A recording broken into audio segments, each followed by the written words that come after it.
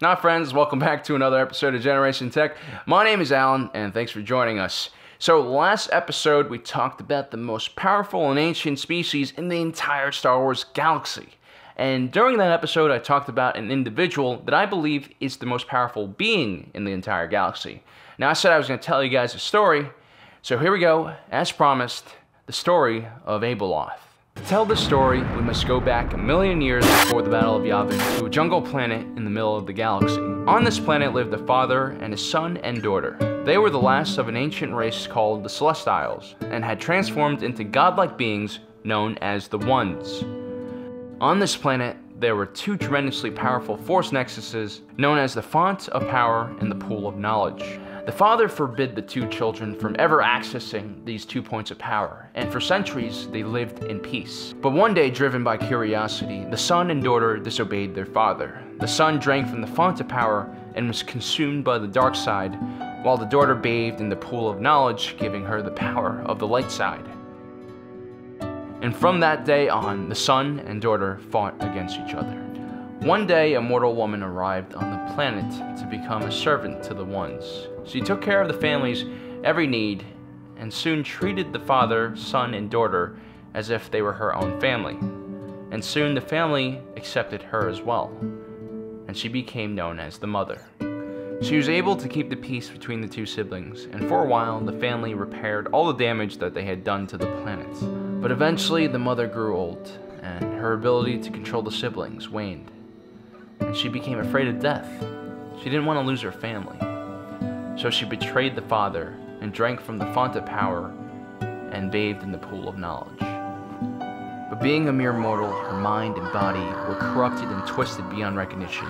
And when compassion and kindness that was left in the mother died, it became the terrifying monster known as Abeloth. Her newfound power was so great that she was able to subdue both her son and her daughter at the same time. But upon seeing what the mother had become, the father became heartbroken and took his children and left the planet, abandoning Abeloth. Alone, Abeloth's twisted mind further degenerated, as her worst fear of being separated from her family had finally come to fruition. The ones took control of the hive mind Killik, an insect species, and used them to build several hyperspace tractor beams, and created a shell of black holes around Abeloth's planet. This would later become known as the Maw, and would become Abeloth's internal prison. For the next million years, Abeloth remained imprisoned, only escaping when there was a great disturbance in the Force. Driven mad by her loneliness and sorrow, she would create a path of destruction and chaos throughout the galaxy, only to be confined back in the Maw by the family that once loved her. But then, 21 years before the Battle of Yavin, Anakin Skywalker, Obi-Wan Kenobi, and Ahsoka Tano were drawn to the planet Mortis by the Ones and started a chain of events that would cause all the ones to die.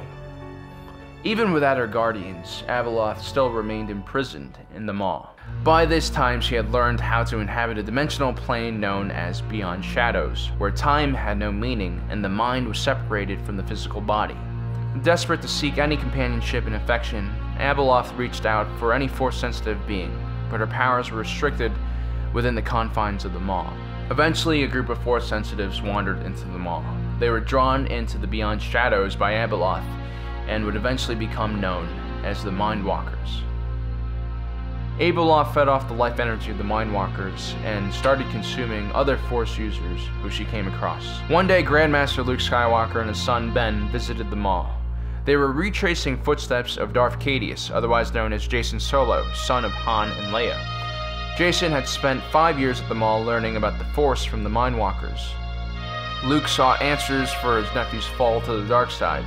Upon meeting the Mindwalkers, Luke and Ben entered the realm of Beyond the Shadows and saw Abeloth for the first time in her true, terrifying form. Upon returning to their bodies, the two Jedi were attacked by a dozen warriors from the lost tribe of the Sith. They had been attracted to the Maw by Abeloth, but the pair managed to defeat most of the Sith and escape.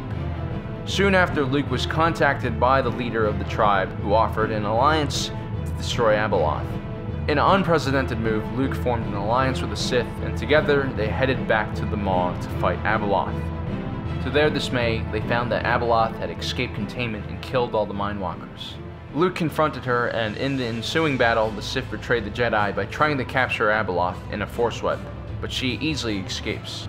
Abeloth then assumes the image of one of Skywalker's friends an attempt to confuse Luke. However, the Jedi saw through the ruse and struck her down, killing her. Or so they thought. Abeloth had the ability to create several avatars from the individuals she consumed, and it was through them she carried out her most devious plans. While the Jedi and Sith investigated her body, the real Abeloth escaped from the planet aboard Luke's ship. Abeloth rampaged across the galaxy, running away from the Jedi and Sith. Luke chased her closely behind, destroying all of her avatars, as she jumped from one body to another. Eventually, Luke managed to free his former love interest, Callista Ming, who had been absorbed by Abeloth, further weakening the monster and forcing her to escape to the Sith Lost Tribe's homeworld of Kesh. There she met the leader of the Sith, Grand Lord Darish Vol. She tried to convince the Sith to create an alliance with her against the Jedi. That night, Abeloth attempted to consume the Grand Lord and invaded his mind, but in return left her own mind open to Vol. The Grand Lord sensed the pain and loneliness inside of Abeloth and began mocking her and telling her that she was unloved. Abeloth, distraught, severs the connection from Vol and goes on a rampage, destroying the Sith's capital city of Tahv. Furious, Abeloth managed to escape Kesh with several Sith that she managed to control with her influence. Abeloth eventually arrives on Coruscant and takes the form of Jassar Rokari Kem, a popular senator in the Galactic Alliance. She connected with other hidden Sith already in the Senate and used their combined political power to replace the current interim chief of state with herself. Through this, she wanted to become the beloved queen of the stars. All she wanted was for people to love her. Her reign as the chief of state of the Galactic Alliance would be short-lived, as the liberation of Coruscant would come shortly after. Her Sith underlings were unable to defend Coruscant, so Abeloth released a cataclysmic seismic event across Coruscant to delay the Jedi. She then kidnapped Ben Skywalker and Sith apprentice turned Jedi Vestara Khai and brought them to her homeworld in the Maw. She wanted to recreate her family again and force Ben and Vestara to drink from the font of power. Abeloth retreated to beyond the shadows with the majority of her power, and was confronted by Luke Skywalker, who had joined forces with another powerful Sith, Darth Krayt. Together, the two managed to destroy Abeloth, destroying the last of her bodies. Although Abeloth was gone for the time being, Luke realized they had not truly destroyed her, and that she would one day return again. Luke sent his knights across the galaxy to search for the Mortis Dagger, the dagger that originally killed the Ones. Luke theorized that this dagger would be able to destroy Abeloth for good. So that, my friends, is the story of Abeloth, the monster who is both tremendous and powerful, yet at the same time lonely and sad.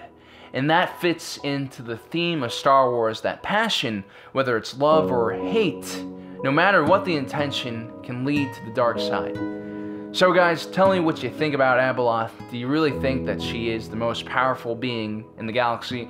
I sure do. And if you like this episode, guys, don't forget to like and subscribe. And if you are subscribed, don't forget to hit the notification button below so you know when we upload a new video. And as usual, guys, if you're watching this, you are Generation Tech.